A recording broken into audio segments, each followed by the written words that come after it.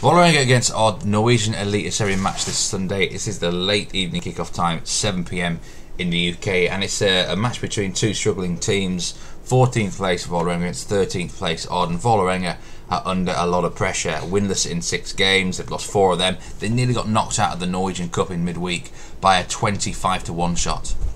They needed very late goals to uh, basically save themselves some embarrassment. The manager Dag Eilev Fagermo, for me, he's under pressure. The fans are not happy with the performances, with the results, and you know I think a defeat here could really see him get the sack even. Uh, and it would be kind of ironic against his former club, who he spent many, many years managing. And um, difficult to say exactly what's going on with Vålerenga. I think they they're not quite as bad as their results might suggest. I mean, the four 0 against Rosenborg last time here, they should have scored goals in that. They were probably the better team last week at Ålesund. She came two 0 down to get a draw. But the garden is not rosy, is it? They um, they have issues. I think if they fall behind here, the, the fans are probably going to get behind. Uh, uh sorry, they're going to get on their back, and there might be a bit of a poisonous atmosphere. It's not ideal. Now, the Odd side that come here are a difficult one to work out. They've had no draws yet this season. Seven defeats, four wins.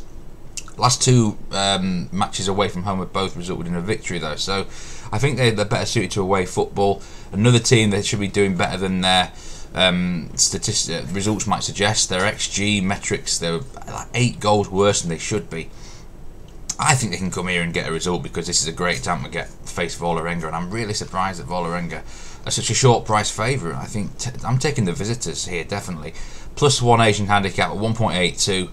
You can generally get in like the 1.75 range on this. If Odd lose by exactly one goal, then you'll get your money back.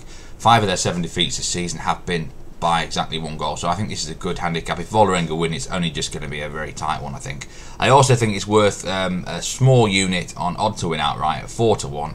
Big price here. I think they can on the nose get the three points and really kind of condemn Fagermo to perhaps the sack. It's just the way things work out. I think Odd going to get the result. Terrible favourite for me, Vålerenga here. Wouldn't back them in a million years. Plus one Asian handicap and away win.